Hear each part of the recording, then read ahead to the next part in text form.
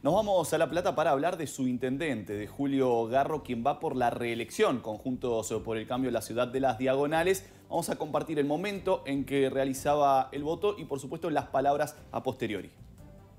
Tener esta posibilidad de poder elegir creo que es algo sagrado para todos los argentinos. Eh, al principio hubo algunas demoras en algunas mesas, faltantes de boletas, cortadas, rotas.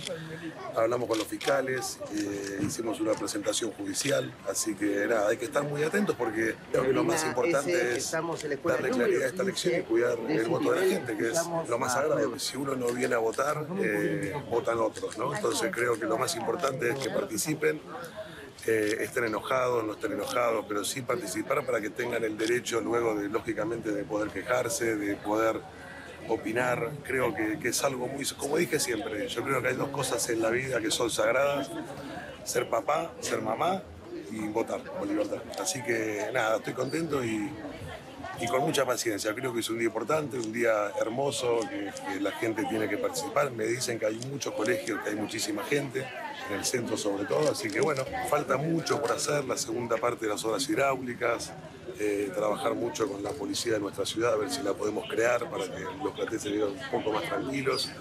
Eh, hay mucho por hacer, seguir llevando infraestructura a los barrios, un compromiso mío con los platenses fue llevar aguas y cloacas a donde faltan en toda nuestra ciudad, que es algo que nos dignifica.